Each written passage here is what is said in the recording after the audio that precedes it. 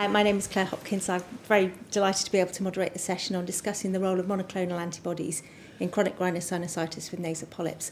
Thank you. So we're going to be discussing really the indications for monoclonal antibodies in nasal polyposis, the limitations of the evidence that we have to date, and really how we're going to select our patients. So I think we're aware of some of the challenges that we face. Next slide, please. Uh, Currently, our treatment is heavily reliant on corticosteroids, either topically or in systemic form. Although systemic steroids can be very effective, we all know that the duration of effect is very short lived, and usually within three months of treatment, the effect is gone. Um, unfortunately, repeated doses is limited by the side effects. Surgery is often successful in relieving symptoms, but 20% of our patients will have another operation within five years. Now, the problem with our treatment is that we don't have other good options to offer our patients at the moment, and monoclonal antibodies potentially could be another source of treatment. The limitations for that is that the cost of the treatment that we have at the moment is actually relatively inexpensive in terms of prednisolone and surgery. And the direct costs, therefore, of polyps to our healthcare providers are quite difficult to establish. And so one of the challenges in introducing the monoclonals will be to try and bring in monoclonals to an appropriate group of patients who are most likely to benefit. So, we're going to start with talking about dupilumab. So, dupilumab has been developed by Sanofi. So, dupilumab is a monoclonal antibody that blocks the IL-4 or alpha receptor and it effectively blocks the actions of both IL-4 and IL-13, which we know are heavily involved in class switching to a type 2 response and IgE production. Um, so they play a key role in the expression of allergic inflammation. I'd now like to hand over to my colleagues from Allakos, who will talk about Siglec-8 monoclonal antibodies. Okay. So Allakos uh, was founded in uh, 2012. Uh, the company has four molecules in development. Two of them are already in the clinic. There are four clinical trials currently either ongoing or completed by the company, and one of our programs is uh, focused on nasal polyposis. The company is located in San Carlos, California, and uh, we have strong expertise in research and in antibody development, uh, as well as clinical operations. Uh, the program in nasal polyps is based on the concept that polyps contain very large numbers of mast cells in them, but interestingly, the so-called eosinophilic polyps also have quite large numbers of mast cells in them. And in my, in my mind, actually, the percentage of mast cells that you see in nasal polyps is probably more impressive in the nasal polyps than the eosinophils because these are rare cells that we typically don't see in the tissues. And in polyps, you can see as much as 10% of the cells being uh, mast cells. Our antibodies have the ability to target both eosinophils and mast cells. Uh, the target that we're pursuing with our current program in nasal polyps is Siglec 8. This is an, a receptor that is in the family of the antibo antibody receptor uh, receptors. Uh, the receptor is present only in three cells in the body, mast cells, eosinophils, and to a lesser degree in basophils. This receptor is present in, in, these, in, in these cells and it, it has a very unique function. It has actually an inhibitory function. So when you engage the receptor, you actually inhibit these cells. And uh, that's uh, the rationale for, for using our antibody in nasal polyposis. So the antibody that we're moving forward in nasal polyposis is AK001. And this antibody binds to Siglec 8 in the case of mast cells, it has the ability to inhibit the mast cell release of mediators. And in the case of eosinophils, when the antibody binds to activated eosinophils, it actually promotes uh, cell death. So we were able to eliminate eosinophils that have been previously activated. Now, one of the first things we wanted to do when we started this program was to ensure that the mast cells and the eosinophils that are present in nasal polyps express the target that we are pursuing. And uh, we got several uh, samples of tissues of nasal polyps. We stained them for Siglec 8, and we found that uniformly the mast cells and the eosinophils in these tissues express Siglec 8, and they express it in high numbers and in a very constant way. So we knew that we had a, a viable target in the tissue that we wanted to address. I want to share with you some of the basic data that we did to prove or to show the activity of our antibody. And what I'm showing you in this slide is an animal model where we have used a humanized mouse model. We've introduced a human immune system into the mouse. Now we have human mast cells and human eosinophils in this mouse. This is important because mice don't express Siglec 8. They express a different receptor. But having a humanized mouse model, we're able to study the target in human cells in an in vivo model. And what we've done in this model is we've sensitized the mouse uh, passively by giving the mouse specific IgE to an allergen. Then you can pre-treat the animal with either a placebo or with our drug AK001, and then you can expose the animal, in this case, by introducing a little bit of allergen in the tissue, in the skin, and you can cause an allergic reaction in the skin. Now, the beauty of this project is that you can see the early and the late phase response, allergic response in the skin by looking at inflammation, swelling, and measurement of certain cytokines in the blood as well. In, in, in, in the case of this animal model, as you can see in the graphs in the right, uh, whether you treat the animal before you sensitize the animal or after you sensitize the animal, but before you put the allergen, our antibody is able to prevent both the early and the late phase response. Now, the second experiment that we did is in the next slide. And here you can see we did a similar project, but now instead of just introducing a, little bit of allergen in the skin, we actually gave a large dose of allergen systemically to induce anaphylaxis in the mice our antibody is able to prevent completely anaphylaxis in these animals. So if we introduce our antibody and we see that, that the animals that received our antibody don't develop symptoms of anaphylaxis, whereas the ones that received placebo had uh, severe anaphylaxis. So uh, uh, this data supports the, the, the, idea of, of being able to, the, the idea that we are able to inhibit mast cells and we are also able to kill eosinophils in tissues. And uh, we decided, based on that, to conduct a clinical trial in nasal polyposis. Uh, the, the, the, in, in, order to do that, we conducted a phase one trial where we were able to demonstrate that the antibody has a very uh, amenable, amenable PK and pharmacodynamic profile. We had an excellent safety profile during this clinical trial we saw that AK01 had activity at low doses and for extended periods of time. We saw reduction in the level of activated eosinophils, and we also saw a signal of activity uh, against mast cells by doing skin tests in these patients and showing that we can diminish the allergic response in these individuals. Then uh, from there, we moved to design a clinical trial in nasal polyposis. And in that trial, we're studying patients with moderate to severe nasal polyps. These patients are res resistant to intranasal corticosteroids. The patients are being randomized to one of three groups. They will receive either a placebo, a low dose, or a high dose of AK01. The endpoints for this study are uh, the primary endpoint will be nasal polyp size, and the secondary endpoints are the, the classic nasal uh, uh, endpoints of symptoms, uh, we're looking at smell tests, and because many of these patients, as you already know, have asthma, we're looking at endpoints of asthma as well with this trial. It's a phase two trial. This study will enable us to decide how we should proceed in terms of designing a late phase development program for nasal polyposis. Thank you very much. Sure.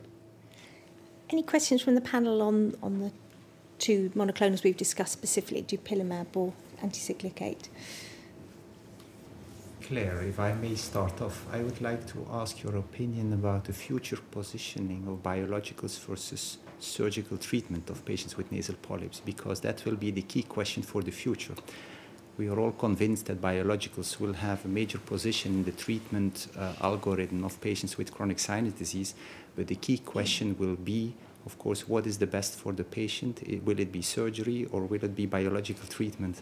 So, what would you think as the way forward to answer that question?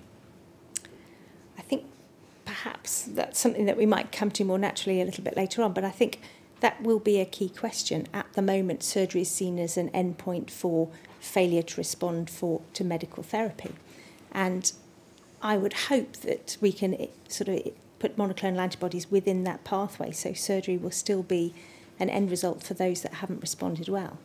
The key issue will be, of course, in terms of cost effectiveness, because I think our healthcare providers will probably only allow us to treat some of our patients with monoclonal antibodies. And the key will be whether we have the ability using biomarkers to predict those who are likely to fail from surgery before we, that happens. Mm-hmm. And if we can do that, I think we can justify treating patients before multiple surgical failures for a selected group of patients. And I think that would be the ideal. I don't think in an ideal world we should see monoclonals as an, anti, as an answer to people who have failed surgery, it would be nice to get to them before we get to that point. Um, we have seen in, in studies which we did actually together in the whole of Europe that about uh, 25% of patients we recruited in several hospitals had more than four surgeries at the time of investigation and they were not at the end of their life. That means that we have a disease where surgery obviously is not the answer. Uh, in about a quarter of the patients with nasal polyps, at least, if not more. The problem with surgery is there is no standardized surgery. Surgery can mean a lot of different things. And that's the first. We have to understand that picking nasal polyps, to be exaggerate a little bit, is a different thing from a full house FESS, uh, which, which might have a better long term result. The, the point here really is um, we have to deal with the health authorities, we have to deal with the colleagues, we have to do, deal with the patients. And I think, depending on the success of that treatment, uh, there might be totally different views. And I already have now patients who say, I don't want a surgery. I had one, I had two, I don't want another one. Um, or I did hear about surgery and I do want to try something else, but also not the corticosteroid. There's a lot of corticosteroid phobia. On the side of the surgeon, to be very frank, there are also interests. How do you earn money? This, this is a point which we have to deal with. And I don't regret that part, by the way. Um, and from the side uh, of the health authorities, of course, it's, it's optimizing treatment for reasonable costs. So there are different um, ideas that we have to put together. And I would be very pleased if there would be a sort of an algorithm that we can recognize the, the, and identify the, the difficult to treat patients in the very beginning, maybe by biomarkers, and then see uh, that we treat them differently from the others. And I'm sure that there are patients who are off with a nice, with a good surgery, and others who have no chance to have that as a final answer. So I think before we go around the whole panel, I'd just like to take a step back and really sort of start perhaps a little bit more about where we are in terms of evidence both for efficacy and safety. Now we've heard about two monoclonals, but of course there are others on the market as well. In terms of where we are at the moment, do you think we have sufficient evidence for efficacy and safety to recommend the use of monoclonal antibodies for patients with nasal polyps? We can start with you, Wytske. I think we do. Um, at the moment, if, if we would be um, if, if we, we, would have biologicals that were uh, cheap, uh, we would pres start prescribing now. Um, I think there are reasonably amount of safety data at the moment um, and efficacy data uh, comparable to systemic steroids. We all prescribe systemic steroids that are um, reasonable safe uh, as far as we know, but we don't even know for sure. Um, and if you compare that with biolog biologicals, um, I think there are enough data. At the moment, the big problem is the economic issue. So, of course, we need more data and we will accumulate data in the coming years in larger groups of patients to be absolutely sure that the safe safety profile we see at the moment will remain over time in larger groups of patients. But I don't see that that will be that is not my big worry, the safety. But of course, at the moment, there is no indication for any of these monoclonal antibodies in nasal polyposis. What we can do at the moment to help that is if patients have comorbid asthma and severe comorbid asthma, yeah, that's then a- we can get an them in the economic issue. program. Yeah, but it's very hard to start a treatment without indication. I, I agree. I Yeah. agree. So that's the first step, and I Yeah. think that's very important that we have one, and probably I hope two or three to, to choose from for those patients. So that's number one. Uh, and of course, these antibodies are in different um, status. You know, we have antibodies where you're just starting first trial. We have others where we have proof of concept, um, and where we do phase three trials and, and publish those uh, actually in the next months, I hope. And that brings us nearer to that point where there is registration for these drugs. In the field of asthma, they have been more advanced in Absolutely. bringing this to a higher level of evidence and even implementing the tre- biological treatment in the care pathway. So, uh, but we are impressed as ENT surgeons that in the most difficult patients having nasal polyps and concomitant asthma, we reach not only control at the level of the uh, nasal polyps and sinus disease, but also at the level of asthma, which is a wonderful and major step forward because we know that the success of surgery in patients with concomitant asthma is lower than in the non-asthmatic ones. So I think uh, there is a huge potential there, but first uh, we need to get it uh, on the market, we need to get it registered, and we need to evaluate the cost effectivity of this, of this treatment. So we need to invest into that as well. So, so I've heard the term cost effectiveness come up a number of times already. And we also heard the statistic that a number of uh, patients have repeated surgeries. So, in light of the fact that there are a number of patients that are continuing to have surgeries, and we do have a focus on cost effectiveness, when you look at the aspect of prevalence of uh, NP, nasal polyposis, are we, and um, this is a question for the, for the uh, clinicians on, on the panel, are we still scratching the surface in terms of the prevalence of NP? And, and where are we with, with prevalence? Because I can imagine that the burden in these patients that are having the repeated surgery is very significant.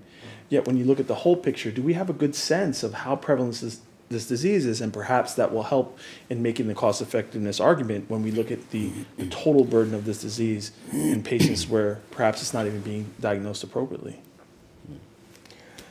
I think what you can read from the numbers, we know it's somewhere between 2 and 4% of the population, the adult population.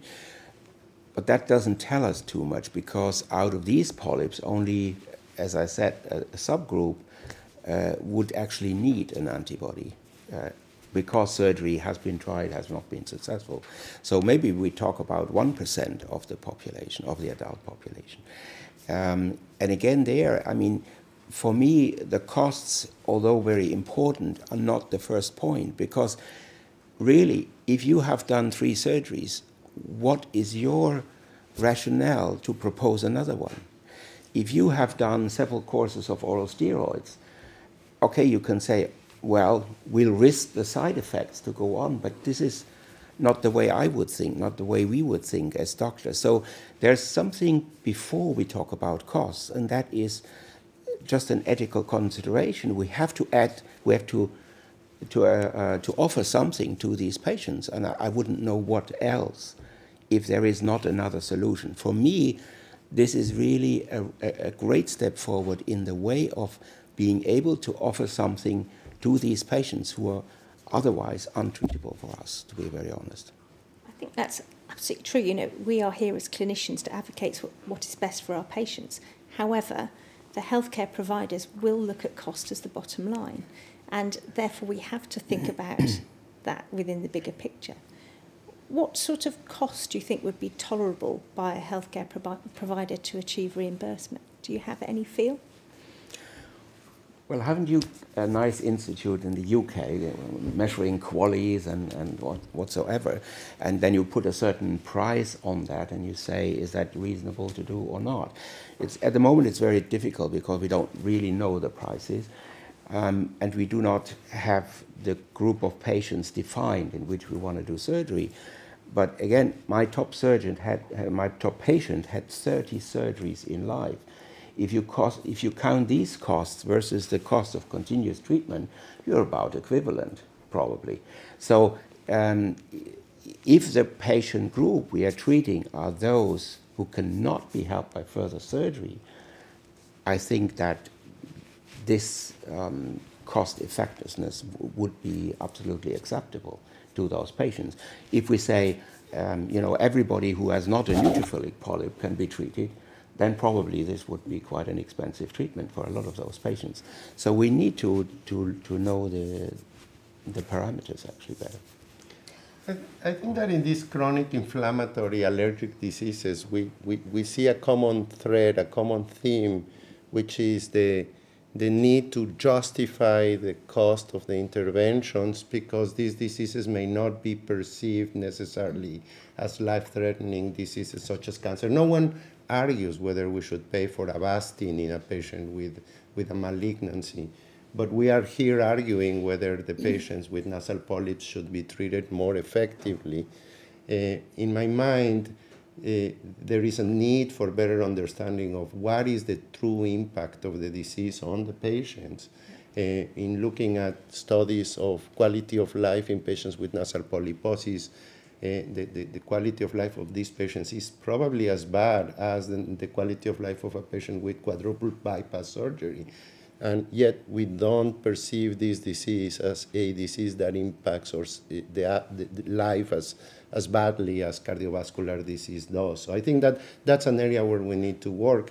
Uh, it also, I find interesting that Eh, eh, Eh, eh, we've heard a few concepts here that come together. One of the concepts that you brought up, Peter, is that these patients that had comorbid asthma and nasal polyps improved. And what that is telling me is that the airway is one airway. And we're treating the airway, and patients are improving because you're treating the physiopathology of the disease. From a surgical perspective, I think you can remove the obstruction in the nose and you can improve the symptoms of the patient very rapidly. But what the biologicals are trying to do uh, are, is to actually impact the physiopathology of the disease, to go to the root cause of the problem and solve that problem. And in my mind, that's something very desirable. So following on from that, you know, we, we need to establish the burden of disease on our patients and how these drugs can impact on that.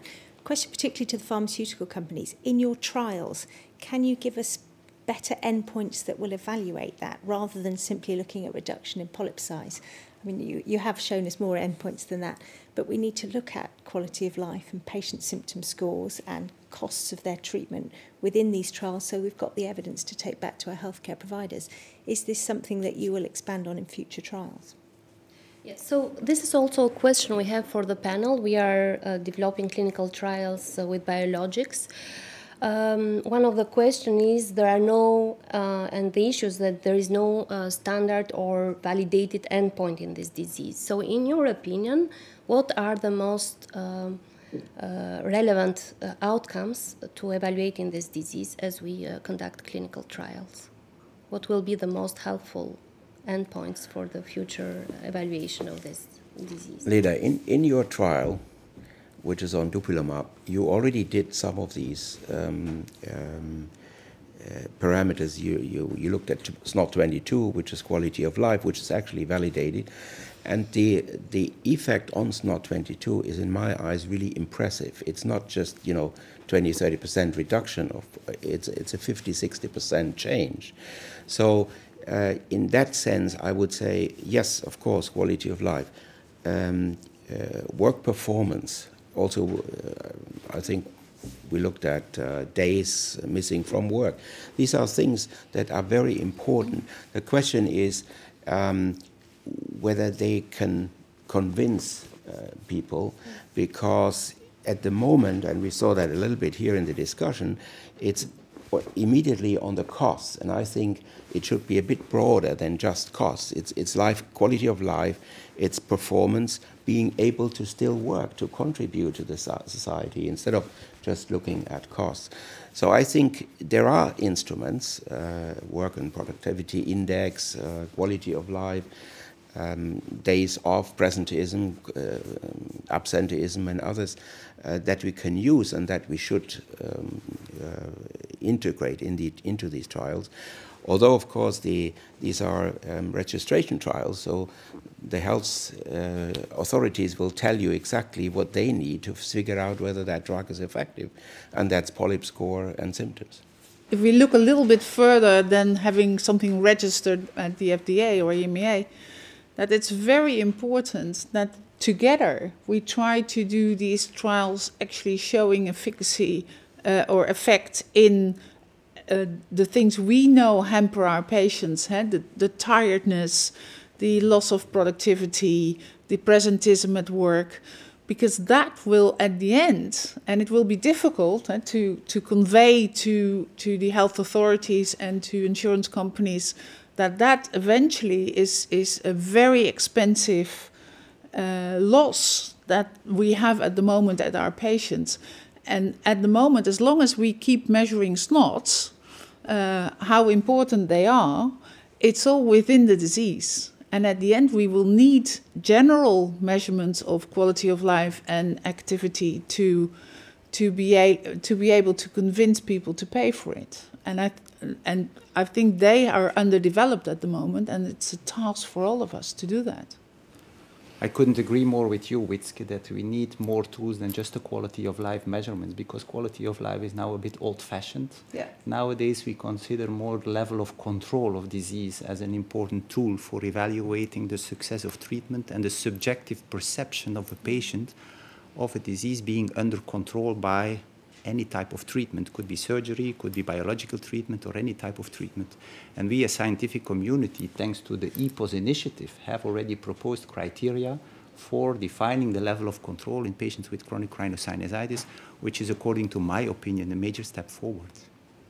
Yeah, I agree. I think combining that what is needed to achieve a reasonable quality of life is absolutely critical. So level of medical treatment and need for surgery is an important outcome because we can show reduced costs.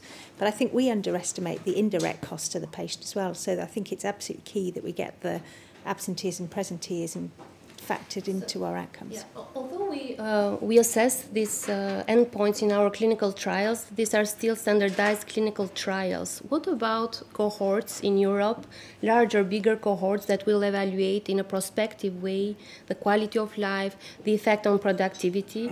Uh, there have been cohorts in the past like GA2LEN, but uh, I don't know whether we really evaluated the productivity uh, impact in, in this cohort. So is there any initiative or an intent to do this in the future? There's, there's certainly a need for more data on, on indirect and direct costs. And we're doing some work funded by the NIHR in the UK looking at that at the moment. So hopefully there will be more, more data. And I think we're all trying to drive that research agenda forward, but it's difficult. Manuel, any thoughts well, on? I think I like uh, very much is that that study so far is concentrating on nasal polyps. We all know that there are other uh, monoclonal antibody. I am not allowed to prescribe as an ENT doctor. I have to refer to my pneumologist, who then prescribes that for asthma, and I am not allowed to do so. So if the license on the long term will be uh, received for treatment of nasal polyposis I think I will be able to recruit at least a smaller group of patients I can follow up.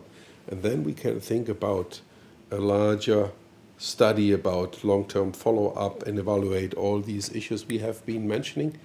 And, uh, and then convince our payers, we call them payers, um, to uh, accept that perhaps uh, medical treatment of polyposis on the long term is at least as valuable as steroids plus minus surgery uh, with uh, less side effects. Uh, and if we uh, can show that um, the uh, side effects are smaller or lower with a uh, biological treatment compared to what we are doing right now, that is already an advantage for the patient. And we can calculate all the costs of, of the days people are uh, absent from work and uh, feeling ill, and, and, and I think that that would be uh, the, the long term study we would need to show our payers on healthcare insurances that that is the way to go. We had a situation here just two, three weeks ago in Belgium where the health minister declared that topical corticosteroids are not reimbursed for patients anymore. Um, that means, especially for that group of patients, which probably was forgotten because it was about allergic rhinitis, that this group of patients would have to treat and pace themselves double dose of topical steroids for 40, 50 years because it's a chronic disease. The point thereafter is, is they count on, they have certain um, categories of diseases like cancer, HIV, um, Alzheimer. These are top diseases that you need to reimburse. And nasal and sinus disease probably is somewhere on the list much, much lower. So the, the thing is that the, the single arguments for a specific disease is important, but what we need is to really make understand the suffering from that kind of disease in general, to differentiate it from other nasal disease, sorry to say for those with allergic rhinitis, but this is really much, much more burden uh, on these patients than for other diseases. And because that is not done yet, I think that's the prim primary thing we should try to do. I couldn't agree more with Claus, but what is important as well to convince the payers about uh, the importance of this of chronic rhinosinusitis with nasal polyps is actually the fact that it occurs in the population that is Working. important from a socio-economic point of view. Yes. Whereas the other diseases that you mentioned, the majority of the patients are within the elderly group of patients Mm. where the socio-economic impact of the chronic disease is not as high. That's right. That's a good point. I, I- think that the, the, the, the, the, need to, uh, to acquire more information that can support uh, the, the treatment of patients with nasal polyps is something I'm hearing here that is necessary. This is the kind of initiative that I think would be best achieved with a co- collaboration between academia and industry. We've, we've done this in the past for other diseases. In the case of asthma, uh, most of what we know about severe asthma is based on a collaboration of industry and academia doing a large cohort of severe asthmatic patients that was followed for, for multiple years. And I think that this is the kind of work that can be done collaboratively between industry and academia where you could gather data. I think it's more complicated than just looking at absenteeism. I mean, eh, if you think about it, if you're treating your patients with a couple of courses of oral corticosteroids a year, you can anticipate that there will be fractures down the line a few years from now. And eh, so you have to do a mathematical modeling of health utilization, not only for the years where you are following the disease, but rather for the impact that those that, that treatment is going to have long term on the patient. And I think that uh, uh, uh, uh, the health economics uh, experts can really help design the type of registry that you need to establish that could give you the data that you need to support treatment for these patients. I would just add to that, I think that clearly the need for uh, collaboration between academia and industry is there, but I would add one more player, and that's government. And you mentioned, uh, I think Lita rightly mentioned that the the struggle we often have in pharma of what's you know needed on the clinician side with the patients, but what the agencies are asking for us from us on the on the regulatory side, and sometimes those don't go together when they really should. And I think a great example of of really uh, academia, industry, and government working together within uh, the respiratory upper respiratory, I'm sorry, lower respiratory space, uh, specifically for COPD, is something called the Exact Pro, which was a tool that was developed as a collaborative uh, uh, effort across all three of those. And I think it really serves as a great example of, of the fact that when we look at where defining COPD exacerbations was a decade ago versus where it is now, things have really evolved, and part of that is due to the collaboration that, that, that everybody realized was needed to be able to move things forward. And perhaps it's a good example for nasal polyposis as well. So if I, sorry to interrupt, if I can just sort of move on, because I think we're going to run short of time.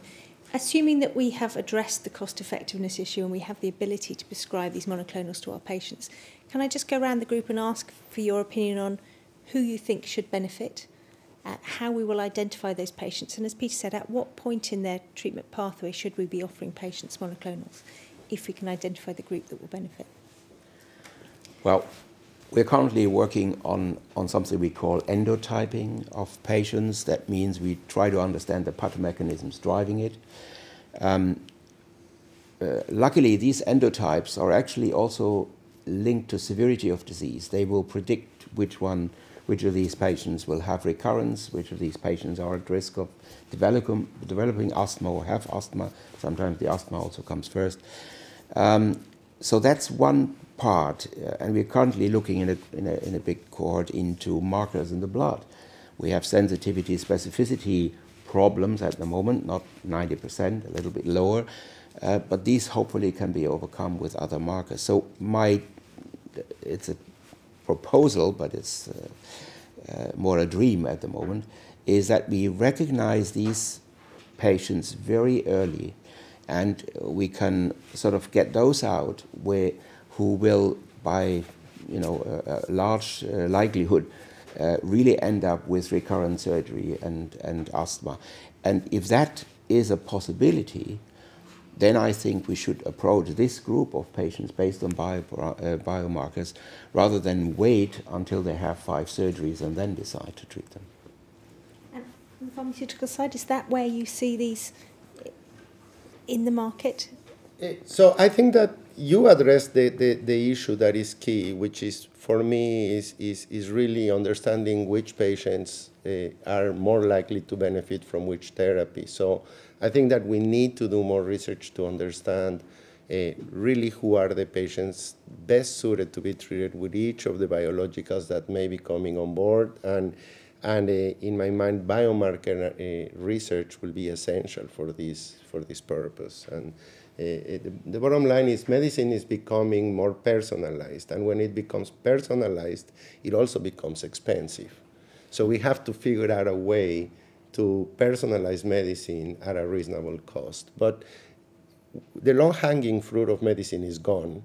And if we really want to help our patients, we'll need to accept the fact that we need to personalize medicine and that we will need to be able to select the right patient for the right drug. I'm really glad you bring up the issue of personalized medicine and endotype driven treatment, as mentioned by Claus or biomarkers, being able to predict the treatment success are key. And actually, all of us being here today, we believe that personalized medicine is important, but we go a bit further even. We go to precision medicine, and personalized approach is only one part of the uh, spectrum we do believe that participation of the patient is also very important. So the patient should be an active partner in the treatment process and also in the decision-making process of the therapeutic plan. And there actually we have uh, the duty to inform the patient about the different uh, therapeutic options in the future and we hope uh, to be able to offer the patient either the choice of surgery or the choice of biological treatment in time. Bishop, do you see a point in time where we have a recipe book of different monoclonals and for some patients just a spray and for some surgery where we can get a blood test and we can point them all in a different direction? I, I definitely think that's feasible. You know, if, if I see what we achieved in the last 10 years, from hardly understanding uh, what a polyp was, what was the relevant inflammation, how we could further endotype our patients to what we have achieved now. If we will make the same progress in the next 10 years, um, I think in we we will we will still be uh, uh, working huh? uh, and actually have that that we much more precise and early. I I can't agree more with Claus how important it is, uh, and also your studies, of course, have shown that if we intervene early. And I'm convinced that if we can intervene in the inflammatory process and not by surgery uh, in the disease, that we can prevent asthma to develop.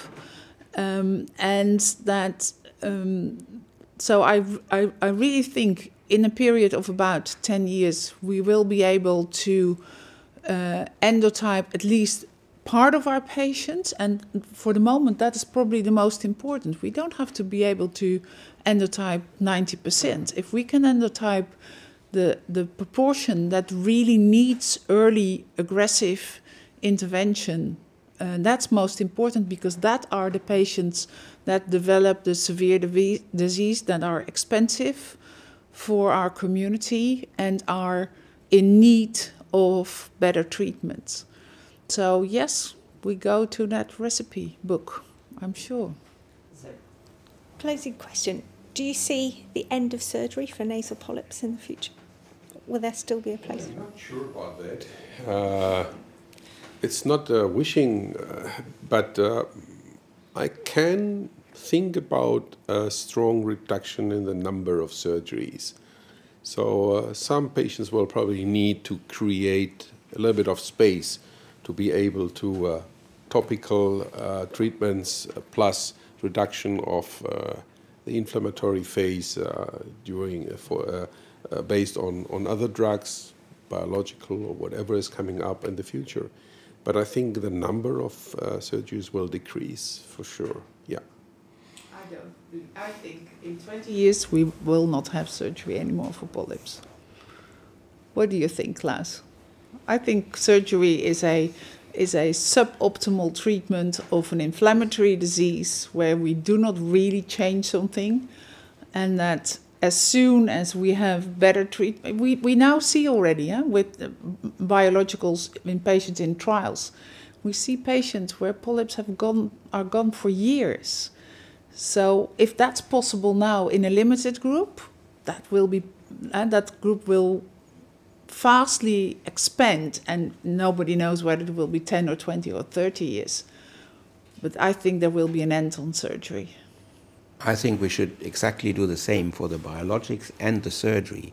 At the moment, we, we call it surgery, but what does it mean? Yeah. It can be very different in, in mm -hmm. who does, uh, also who does what. Mm -hmm. So we should endotype the patients, and we will find a group of nasal polyp patients which is clearly nicely off with surgery, but with the right kind of surgery.